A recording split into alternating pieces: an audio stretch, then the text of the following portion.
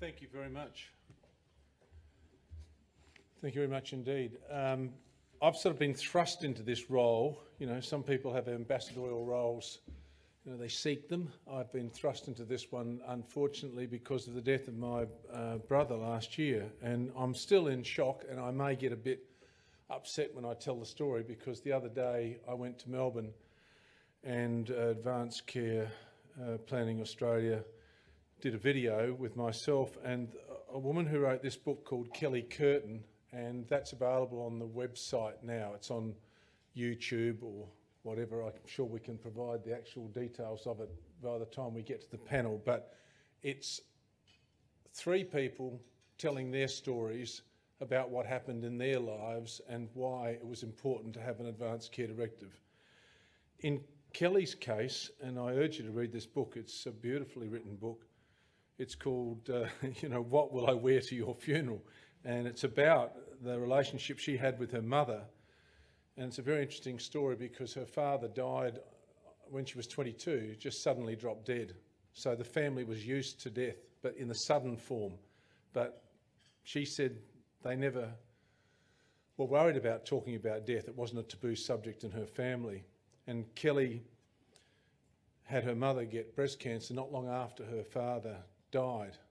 And then the cancer went away and then it came back 25 years later. So she's now a mum with kids herself and having to deal with the issue of a mother. And her mother said, I don't want cancer treatment.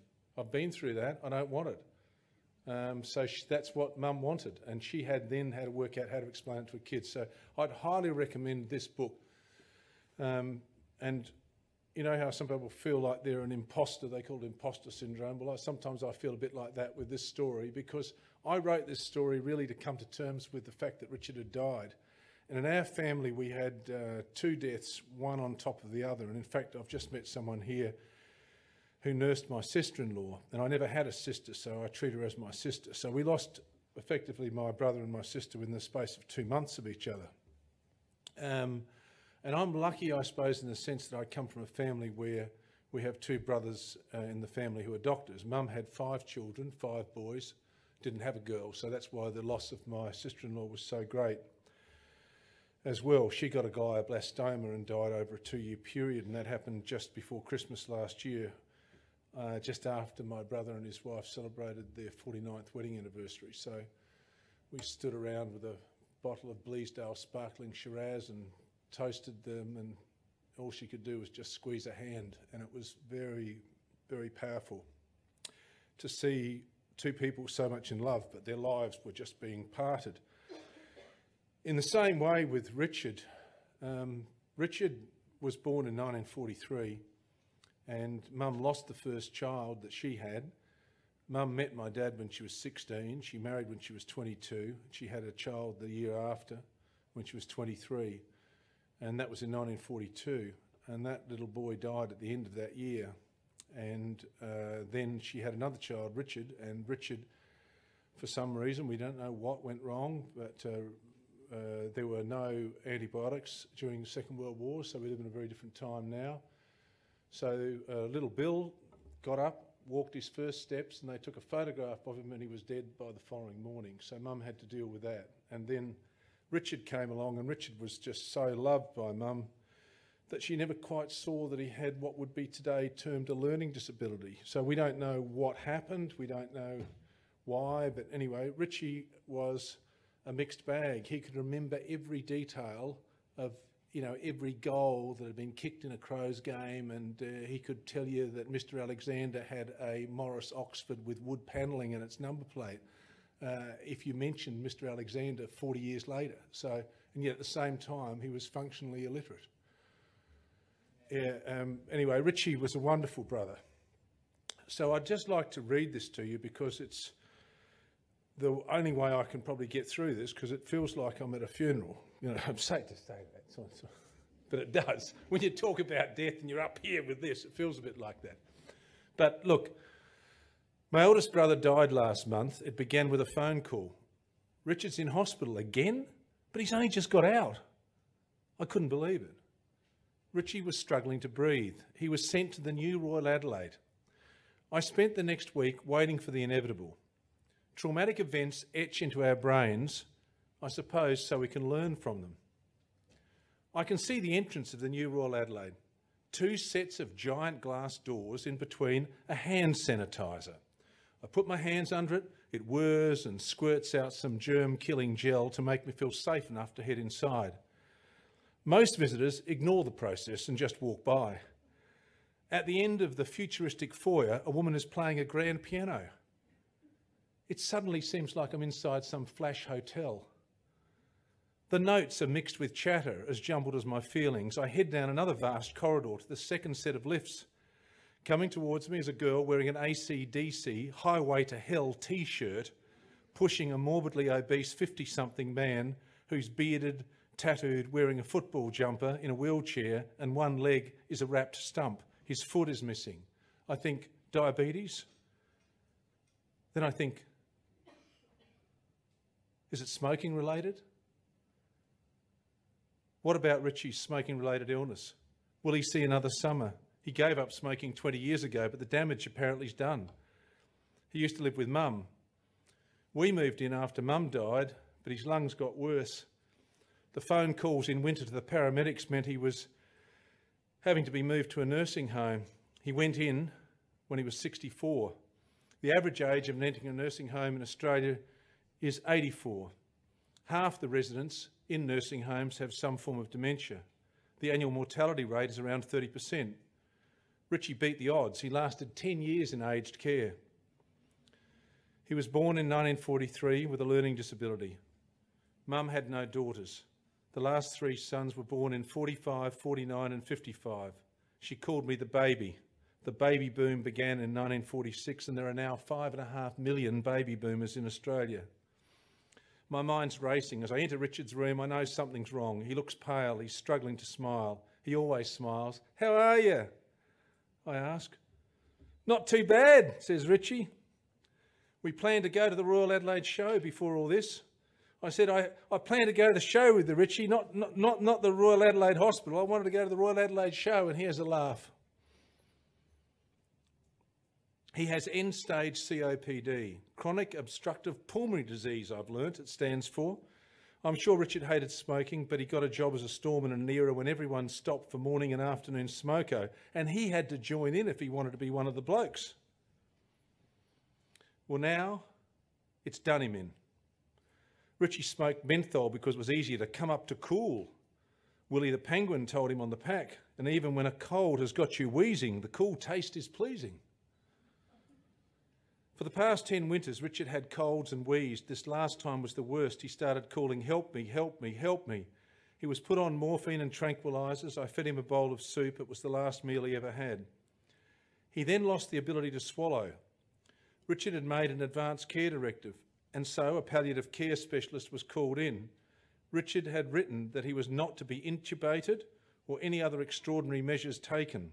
Richard hadn't written these words, but he'd agreed to them. My brothers, who are both doctors, had worked out the words. So Richard lay there in his hospital bed, his brothers at his side, and there was no pain, only the pain in our hearts. One in five Australians has an advanced care directive. Because Richard had one, he didn't spend his last days in intensive care, being given costly and futile treatment According to an article I read just after Richard died, we spend, or rather waste, $153 million a year on end-of-life treatments that provide no benefit. The new medically assisted dying law in Victoria will only affect a tiny fraction of people. People haven't won the general right to choose when they end their life, but we all have the right to say how we want our life to end. So have the end-of-life discussion with your family and your GP. Write down what you want. Three quarters of us say we want to die at home, and yet only one in seven of us will. And talking of wills, make sure you've got one of those as well. Almost half of Australians don't have a will. The number of baby boomers arriving in life's departure lounge means that the numbers of deaths in Australia is going to double in the next 25 years. So if you want to die in your own home, if you want to die surrounded by your family, if you want to die in a hospital and not an intensive care ward, in an ordinary ward, you don't want to be surrounded by machines going beep, then you can do something about it. If you do, you'll save your family an awful lot of worries, and you'll also help save the health system billions of dollars.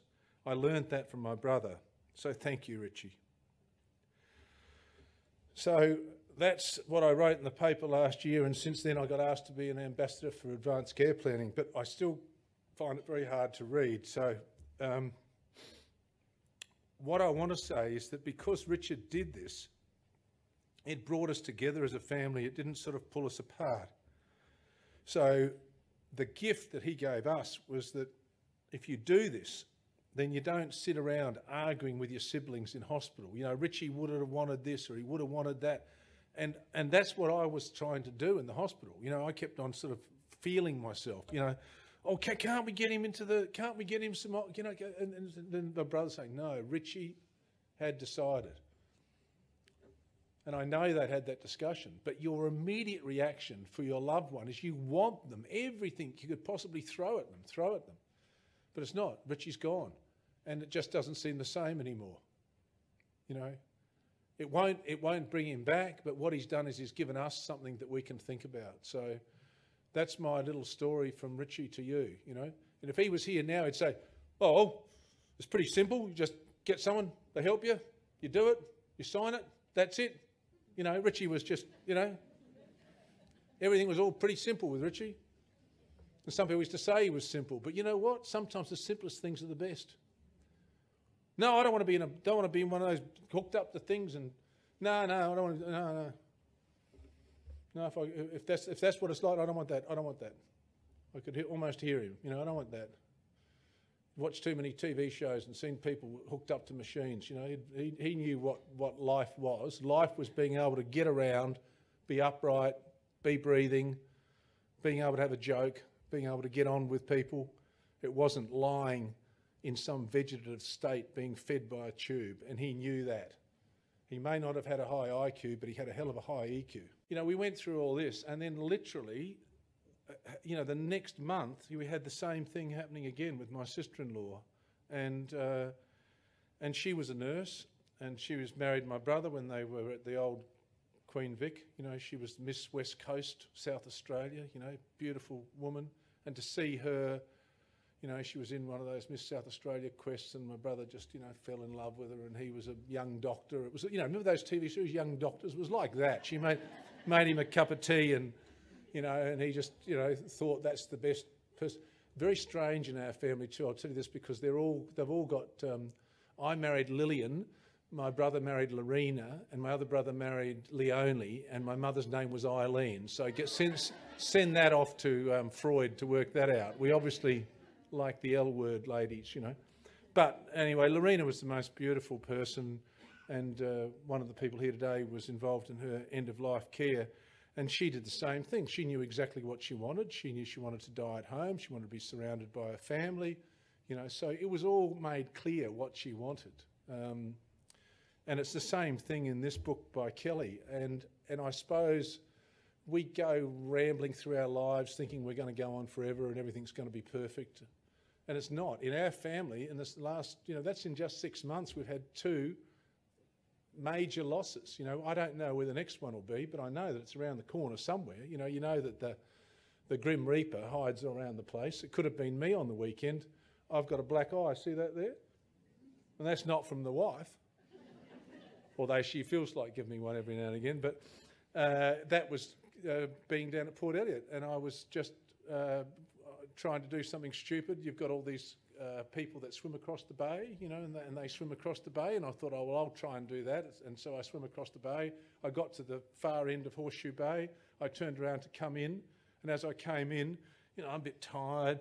And then I sort of get out of the water. I've swum about 500 metres or whatever. So I get out of the water and I look around. And I see this big wave coming. I think, oh, yeah, what you got to do? You've got to dive through the wave, you know. So I dived into the wave and it picked me up twisted me around like a tea towel, tipped me over, and slammed me down into the sand and smacked there, and I got grazed on my back. And I, and I went over to the Surf Lifesaving Club, and the fellow in the Surf Lifesaving Club said, I said to him, oh, I just want to tell you what happened to me over there. He said, Oh, yeah, that's where the bloke broke his T2 the other weekend, Easter weekend, Port Elliot. You know, so I mean, it could have been like that then. And then what if I'd been in a, a, a situation like that and my kids, and I've got a 12 and a 14 year old? Can you imagine the two of them? You know, a hormonal teenager screaming and, you know, saying, Dad would want to be, you know, no, no, I don't care. I want him kept alive, you know, because she feels so guilty because she's been so horrible to me. Don't. you know, I can imagine the two of them, you know, having a squabble in the hospital. Well, if I've written down what I want, then mum can just say, look, darling, that's what he said. That's what he wanted. We talked about it. Remember, we talked about it. So, you know, it can be as simple as, you know, me getting on the push bike and riding home and getting hit by a bus tonight. We just don't know when it's going to happen. And the, the beautiful thing about both Lorena and um, Richie, Richie knew because he had COPD that that was going to be the end stage. Lorena had a glioblastoma, so she knew what was happening, so they were given time. This lady, um, Kelly Curtin's mother, knew as well. But a lot of us don't know. But the, the message I'm, I'm just saying is in my new, you know, ambassadorial role that's been thrust upon me is um, do your homework. You know, it's not much. It's what we used to be told to do. Do your homework. Go home, do your homework. If you haven't done it, do it. Talk to your friends about it, get them to do it. Talk to your family about it, get them to do it. And as um, the late John Clarke, you know, who suddenly dropped dead, would say, I'll get out of your way now. All right? All right, thank you very much.